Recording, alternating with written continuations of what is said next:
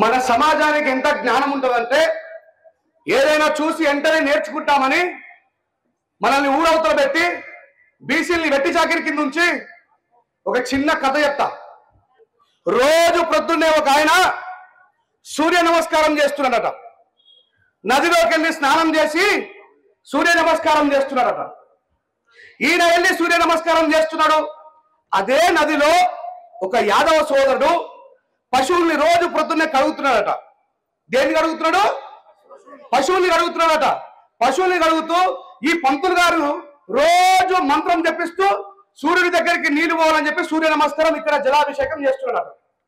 ఒక రోజు ఈ పంతులైన లేట్ అయిండు. ఈ యాదవులైనా ముందొచ్చిండు.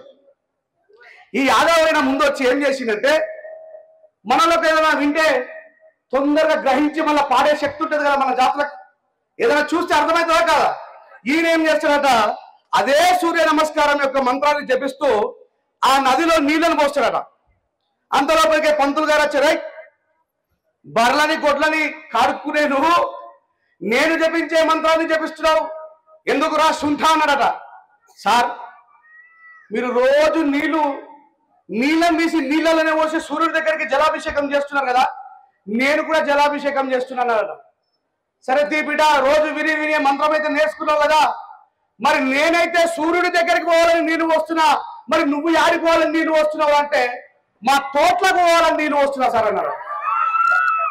ఒరే పిచ్చోడా నేను సద్బ్రాహ్మణుణ్ణి నేను మంత్రం జపించి నీళ్ళు పోస్తే సూర్యుడి దగ్గరకు పోతాయి నువ్వు పోస్తే మీ తోటలకు ఎట్లా పోతారా మూర్ఖుడా అంటే అందులో వెయ్యి యోజనాలు దూరం ఉన్న సూర్యుడి దగ్గరికి నువ్వు పోతే పోలేని ఈ కిలోమీటర్ కూడా దూరం లేని తోటలకు ఎందుకు పోవాలన్నారట